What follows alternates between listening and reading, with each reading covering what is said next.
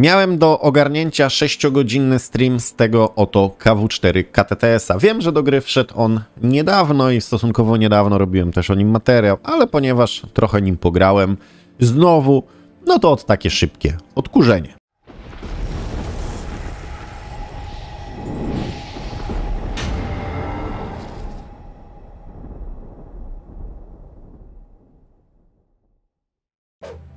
Cześć, witajcie. Witam Was w kolejnym odcinku z World of Tanks. Moi drodzy, KW4 KTTS to nie jest wybitny pojazd. Yy, oczywiście są sytuacje, w których można, może gdzieś dać trochę frajdy, ale to, jakie do niego miałem uwagi na pierwszym materiale, to myślę, że cały czas te uwagi podtrzymuję. Nawet grało mi się chyba gorzej niż przy pierwszym kontakcie z tym pojazdem, ale yy, Tutaj niestety bardzo duże znaczenie ma to, jakie dostajecie mapy, ze względu na to, że jesteście wielkim klocem, dodatkowo też klocem bez depresji działa, jeżeli dostaniecie duże, otwarte mapy, pofałdowane, no to wtedy dużo gorzej się gra tym pojazdem, dużo mniejsza przyjemność niż na przykład gra na Himmersdorfie y, czy na y, chociażby Ensku, więc to już kwestia, jak wam matchmaking będzie dawał mapy. Na pewno mm, tego KTTS-a nie polecam, nie jest to pojazd, który koniecznie trzeba mieć w garażu i on jest do gry wprowadzony też zdecydowanie za późno. Dzisiaj są inne czołgi, dużo mocniejsze, a KTTS jest po prostu taki mech. Ni to Tedek, ni to Hevik, takie w sumie nie wiadomo co. Oczywiście yy, plusem jest to, że możecie szkolić tutaj całą załogę, ale minusem, że nie wiadomo po co jest radiooperator, którego nigdzie indziej nie ma w niszczycielach czołgów na wysokim poziomie, więc jest on totalnie zbędny. No ale wiadomo, że załoga 2.0 ma być w przyszłości, widzieliśmy jakąś tam zajawkę, więc wierzę głęboko, że doczekam się takich zmian w załodze, że w końcu to nie będzie problemem więc nie chcę mi się już nawet na ten temat za dużo gadać. Na wyposażeniu y, grałem standardowym przez te 6 godzin, dosyłka w slocie dedykowanym, Venta i Turbo, plus dyrektywa do, y, do hamowania sprzęgłem. Na tym gram zazwyczaj. Drugi setup, jeżeli dostanę wyjątkowo małą mapę, gdzie to turbo aż tak mi nie jest potrzebne, to zamiast turbo mam hapeki, by być w stanie dłużej y, na polu bitwy się utrzymać.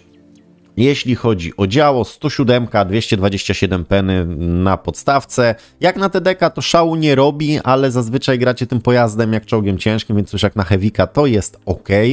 Natomiast no jak potrzebujecie tej peny więcej, to na Goldzie jest aż 289 i warto z tego korzystać. Alfa 360, no nieduża jak na TDK, nawet jak na czołg ciężki.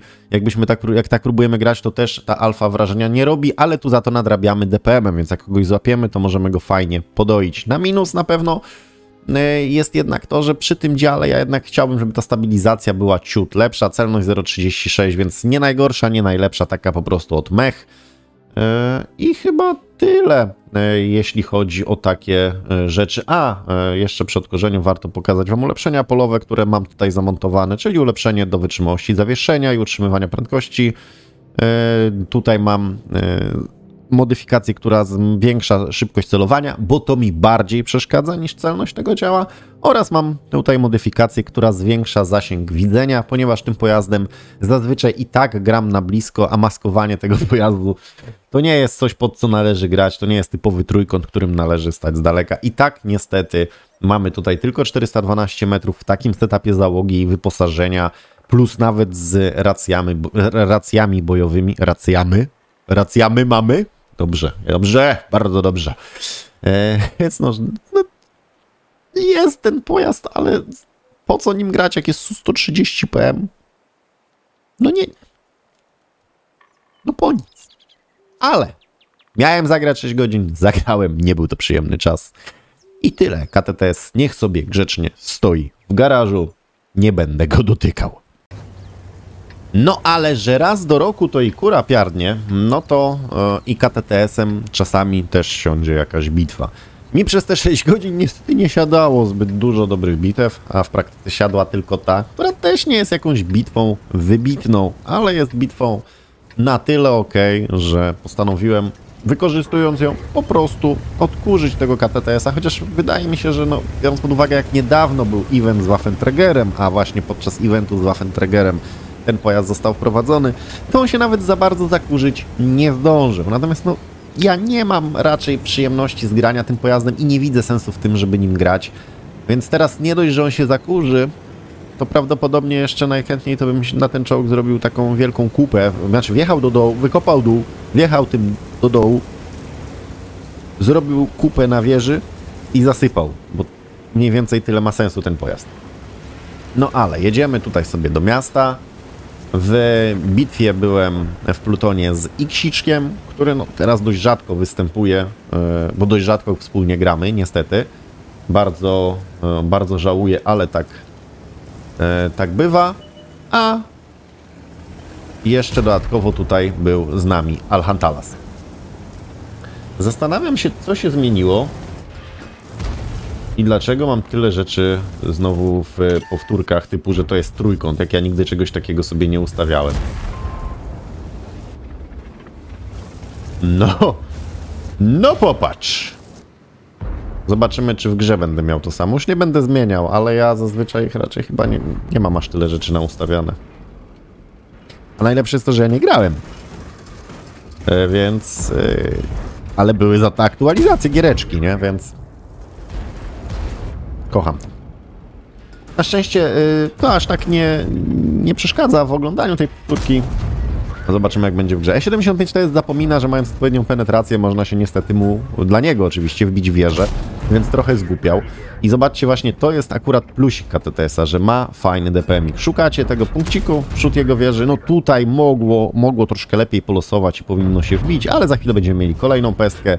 On tutaj jeszcze kombinuje, ja szukam, gdzie mi się kawałek wieży pokaże na na zielono i strzelam, chociaż tam były też fragmenty, które były na pomarańczowo, więc jak da odpowiednią penetrację, to też przebije. Tutaj no akurat RNG nie pomogło, ale 75 TS jest już bardzo, bardzo mocno bity. Teraz już w ogóle jest wyłączony z gry. No i mam ponad 1000 uszkodzeń zrobionych. Wyjeżdżam BZ-176 na szczęście tylko za zero, więc tutaj dużo farta. Ale stwierdziłem, że trzeba to trochę przypuszować, no bo jednak tym pojazdem w wielu sytuacjach, znaczy przy odpowiednim losowaniu oczywiście, powinno się zagrać trochę agresywniej wykorzystując ten DPM. Co mnie w nim boli? Co cię boli? Czy aż tak cię to boli? To was boli. E, to oczywiście włas na łbie, ale to myślę, że wszyscy wiemy. Boli mnie trochę to, że on hapekowo, że on tych hapeków nie ma trochę więcej, bo na podstawce my tu mamy bodajże 1400, o ile dobrze pamiętam, ale tu z tego co, co kojarzę, to będą patu strzały w moim wykonaniu, e, chyba później. E, a moim zdaniem półtora tysiąca to tu powinno być e, bez problemu, tak jak to ma Ferdek, więc... E,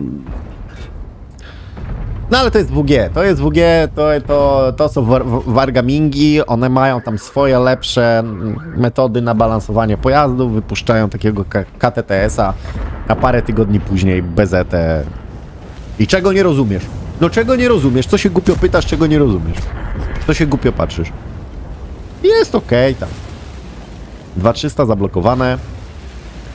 Oczywiście gabaryty tego pojazdu też nie ułatwiają gry takiej jak tutaj. Ten wrak, no ten kurna wrak mi tutaj dość mocno przeszkadza. A nie chciałem się też yy, tak bez sensu ulać, bo już kilkukrotnie się przekonałem, że no ulewając się tym pojazdem nagle się okazuje, jak traficie na kogoś, kto nie ma pancerza, yy, znaczy kto wie, gdzie was strzelać, to nie macie pancerza. Yy, piękny strzał w TV-kę, tak, brawo Dead. Yy, co do co do jeszcze KTTS-a po kilkunastu, kilkunastu tygodniach, nie mogę tego, nie mogę na to patrzeć, co ja odwalałem, nie? E, po tych kilkunastu tygodniach, e, to, to to, że jednak spora część społeczności WOTA nauczyła się, jak łatwiej jest tego KTTS-a przebijać, gdzie go konkretnie strzelać. I mam wrażenie, że ten pancerz sprawdza się dużo, dużo rzadziej. Wiem, mówię to w sytuacji, kiedy mam w bitwie odbite prawie 4000 HP-ków. Ale no, nie bierzcie tego do siebie. Przede wszystkim słuchajcie tego, co wam mówię. E, tutaj udało się fajnie dobić. 2600 uszkodzeń zrobionych. Mamy lwa. Dobicie. A może ja miałem te znaczy? Nie, no nie wiem czy miałem, już nie pamiętam, dawno nie grałem.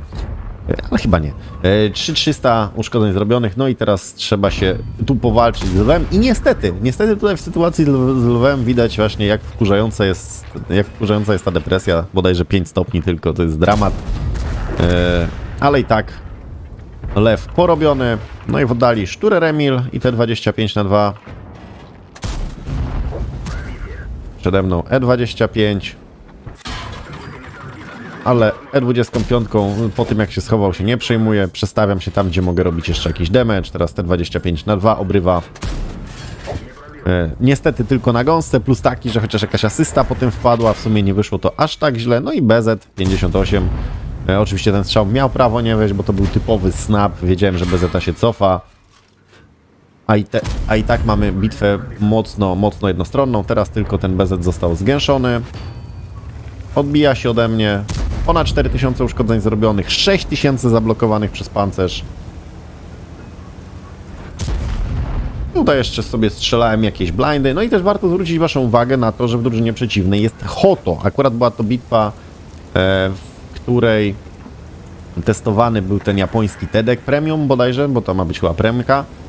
E, Ale szału to, to Hoto nie zrobiło, szczerze mówiąc.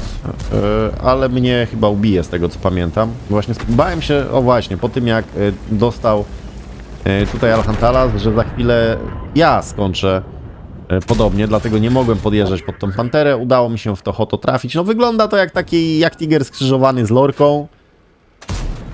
Czyli wygląda tak nijak. No niewiele wystawało, więc z tą celnością też, też bywa różnie. E, Ja oczywiście pewnie jak to prowadzą, to będę tym grał, no bo to jest japoński TEDek, no. Chciałem to poprzebijać, okazało się, że tego nie przebiłem, za to Hoto mnie zrobiło. E, No, cóż, bywa. Bywa, ale fajnie było to zobaczyć. Szkoda, że e, jednak tym TEDekiem mm, ten super tester postanowił grać w tamtych okolicach. Wydaje mi się, że tym się powinno grać bardziej na pancerz, chociaż znając jak wygląda budowa jego pancerza i jak wygląda dzisiaj WOD e, latające gold pestki, to pewnie ten pancerz za wiele znaczyć nie będzie. Bitwa wygrana, zerknijmy na rezultaty. A screeny końcowe wyglądają następująco. Za bitewkę tę wpadła odznaka mistrzowska asa pancernego. Nie była to moja pierwsza MK na tym KTTS-ie. Dodatkowo duży koliber oraz wsparcie. E, Jeśli chodzi o asystę, to było i tutaj 1081. Ostatecznie było 4698 uszkodzeń własnych, dwa fragi, dało to 1444 punkty bazowego expa, co na masterkę wystarczyło. Fajna bitwa Alhantalasa, ponad 3000 uszkodzeń i prawie 1350 bazowego expa, a, a, a, a i Ksiczkowi już tak dobrze y, nie poszło, bo tu taki miał ładny nick, nie, w ogóle tak, tak, zero? On się chyba za zero wywalił, tak, bo z tego była jeszcze beka, że będzie na YouTubka. Brawo Iksi, gratuluję. E, 14,5 tysiąca kredytów zarobione na czysto z różnymi bonusami. Expa wpadło 4549, również z różnymi mnożnikami. I to by było na tyle. Wydaje mi się, że nie ma więcej co poświęcać czasu na ten mm, pojazd. Nie macie go, nie żałujcie. Są zdecydowanie lepsze i przyjemniejsze premki. Tak czy siak, jeżeli komuś się chciało obejrzeć ten materiał, to naprawdę dziękuję za poświęcony czas. Pamiętajcie o łapce w górę. E, Pamiętajcie proszę oczywiście także o tym, by zostawić po sobie jakiś komentarz. Jak macie Instagrama, zachęcam w opisie e, filmu. Jest link do Instagrama. Chciałbym tę platformę troszkę rozbudować, więc jak macie, to, za, to dołączcie. Jak nie macie, to możecie założyć Insta, Instagramka i tam też dołączyć. Dziękuję wszystkim osobom, które nie przewijają reklam. Dziękuję wszystkim patronom i dziękuję również wszystkim osobom, które zabrały mnie na wirtualną kawę. Jeżeli miałbyś ochotę postawić mi taką wirtualną kawę, to link oczywiście będzie w przypiętym komentarzu. Tyle ode mnie na dzisiaj. Życzę Wam miłego dnia i do zobaczenia w kolejnych materiałach. Trzymajcie się.